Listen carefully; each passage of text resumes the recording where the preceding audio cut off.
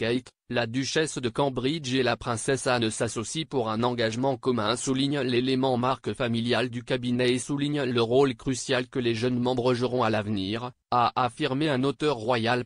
La princesse royale et la duchesse de Cambridge se mobilisent pour tenter d'améliorer les soins de santé maternelle.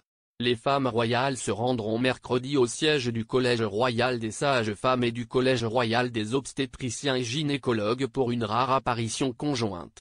Le couple est à la fois patron des différentes organisations, Kate étant la patronne du Collège royal des obstétriciens et gynécologues, ARCOG, tandis que la princesse royale est la patronne du Collège royal des sages-femmes, RCM. L'occasion marque leur tout premier engagement en duo, car le couple n'a jamais effectué d'engagement public qu'au sein d'un groupe familial plus large.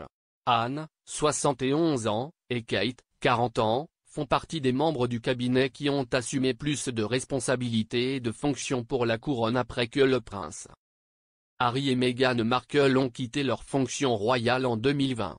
Selon l'auteur royal Pauline McLaren, Faire équipe de cette manière avec deux membres de la famille royale pourrait être en partie monnaie courante à mesure que la monarchie évolue.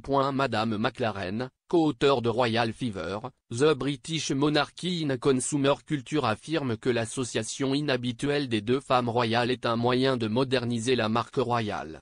Madame McLaren, qui est professeur de marketing et de recherche sur les consommateurs à la School of Management de Royal Holloway, a déclaré à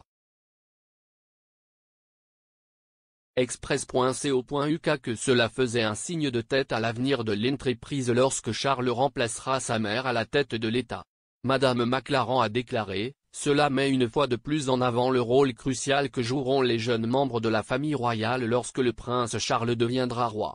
Ils sont particulièrement importants en ce moment où nous voyons davantage une transition se produire car ils sont le brillant avenir de la monarchie et les aspects les plus attrayants de la marque royale.